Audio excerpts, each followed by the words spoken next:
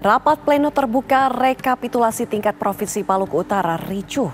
Pertengkaran fisik nyaris terjadi antara anggota Bawaslu dengan anggota KPU.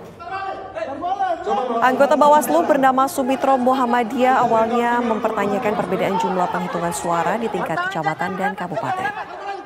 Protes ini memicu kemarahan anggota KPU yang kemudian mengejar anggota Bawaslu.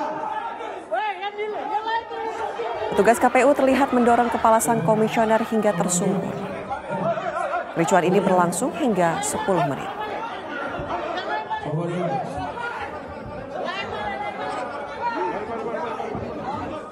KPU kabupaten itu berbeda dengan de hasil di kecamatan khususnya eh, apa selatan tadi ya. Nah sehingga eh, kami meminta untuk mencocokkan mana kira-kira yang benar kan gitu. Kita perlu buat pencocokan. Itu saja intinya sebenarnya sih. Itu perolehan suara DPR provinsi atau apa Pak? DPRD provinsi.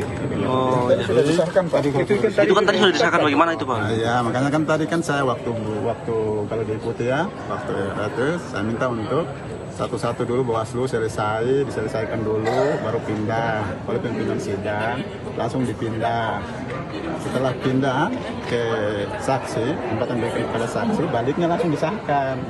Padahal kan saya udah minta itu.